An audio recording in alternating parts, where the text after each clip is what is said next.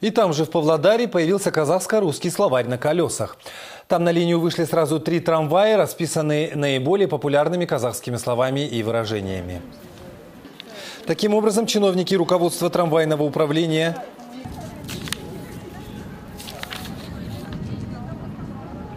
Учить население Павлодара казахскому языку, мол, пассажирам примелькаются и запомнятся наиболее употребляемые выражения. Интернет-пользователи уже выразили сомнения в эффективности подобных методов. Однако инициаторы проекта не сомневаются в его успехе. К слову, в административном центре Павлодарской области проживают около 130 национальностей.